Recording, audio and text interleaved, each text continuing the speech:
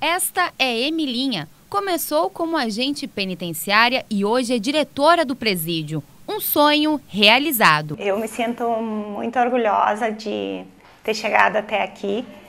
Uh, com 23 anos de SUSEP, eu já passei por vários setores, ainda não tinha passado por uma administração direta, assim, como principalmente no início, pegar um presídio e abrir, iniciar um presídio, né? Então, para mim, assim, é excepcional essa experiência. Apesar da correria do dia a dia, ela não esquece de cuidar da saúde e da beleza. Eu, eu adoro, eu gosto muito do meu trabalho. Então, para mim, é uma realização profissional. Tenho certeza que fecho a minha carreira com chave de ouro.